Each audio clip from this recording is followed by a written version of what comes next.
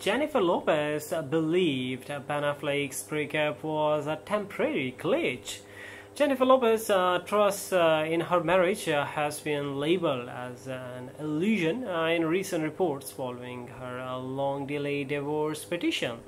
According to a source, uh, the love do not cost a thing singer, 55, was humiliated by Ben Affleck, 52, since she had hoped they would finally work things out. When they first uh, separated, uh, Jennifer thought it was uh, just a temporary glitch, inside the insider told Radar Online.